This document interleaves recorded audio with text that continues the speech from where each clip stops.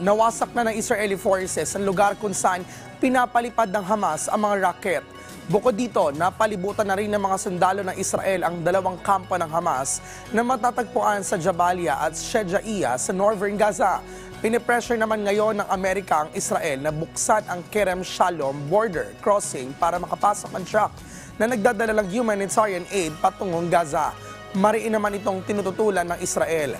Katunayan, pinapabalik ng Israel sa Egypt ang mga truck na may kargang humanitarian aid. Nagpapatuloy din sa ngayon ang debate ng mga miyembro ng United Nations hinggil sa resolusyon na tigil putukan sa Gaza.